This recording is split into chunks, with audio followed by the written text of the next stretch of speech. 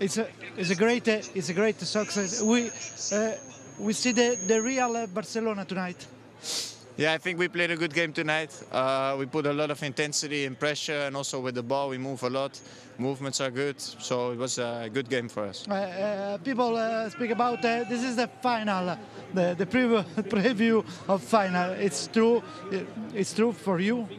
I think it was a good match. I think Napoli, Barcelona. For example, two years ago we played them in Champions League uh, octavos, and now we played them in Europa League. So it were two uh, two big teams. I think. Did you expect something more from Napoli tonight?